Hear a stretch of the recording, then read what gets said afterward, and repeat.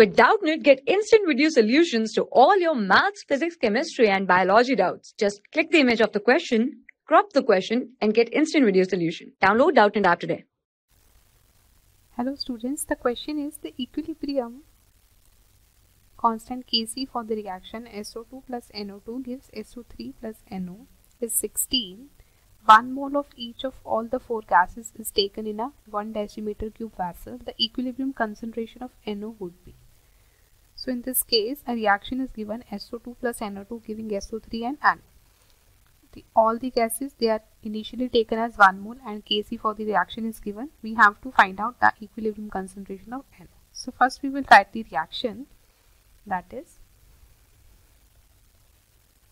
SO2 gaseous plus NO2 gaseous it is forming SO3 gaseous plus NO gas now if we say at T is equals to 0, initial moles were 1 for all gases and at T is equal to equilibrium, T equilibrium, if we say X moles of SO2 will dissociate then X moles of NO2 will dissociate and 1 plus X moles of SO3 and 1 plus X moles of this will be formed at equilibrium. Now Kc for the reaction is given. Kc Equilibrium constant is written as concentration of the products raised to power their stoichiometric coefficient divided by concentration of the reactants raised to power their stoichiometric coefficients. Now, if we write Kc for this reaction, it would be the products are SO3 and NO2, so their concentrations would be SO3 and concentration of NO divided by reactants that are SO2. So concentration of SO2 and concentration of NO2.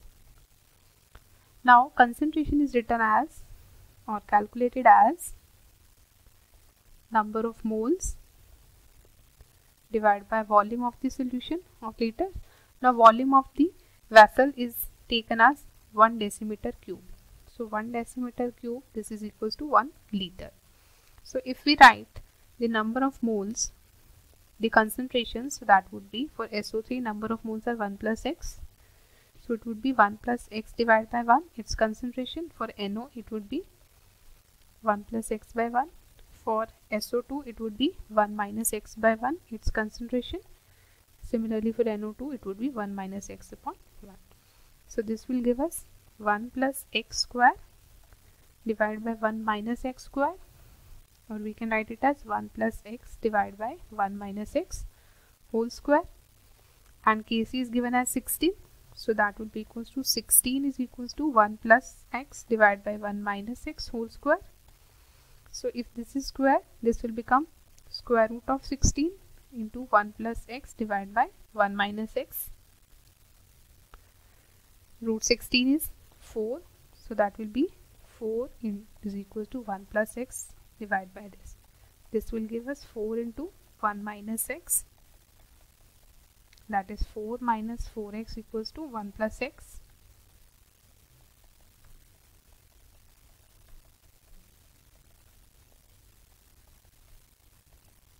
So x is calculated as 3 by 5. So we have to find out the equilibrium concentration of NO. So that would be 1 plus x. So we can find out the concentration of NO that is 1 plus x. So concentration of NO is 1 plus x that is 1 plus 3 by 5. So that will be equals to 1.6 moles per liter. This is the concentration of NO 1.6. So the correct option to this question is D option 1.6 molar. I hope you understood the solution. Thank you. For class 6 to 12, IIT JEE and NEET level. Trusted by more than 5 crore students. Download Doubtnut app today.